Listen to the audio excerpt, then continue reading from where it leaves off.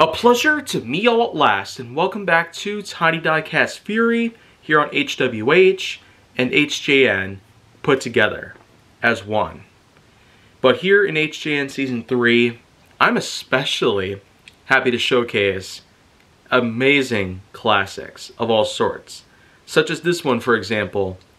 Made in 1990, released in 1991, we have ourselves a model known as Mini Truck.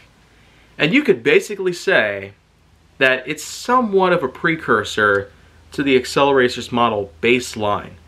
And I feel like that would be appropriate because Baseline does in fact have an almost identical sort of look with a more cartoony appearance.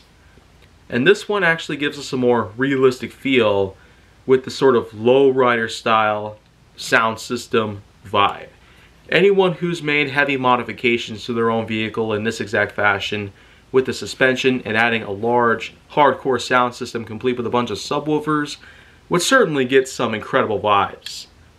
And anybody who has also made other modifications, including adding a spoiler, exposing the engine, and of course, having various other components put together, from the exhaust to a turbocharger or supercharger, and anything else.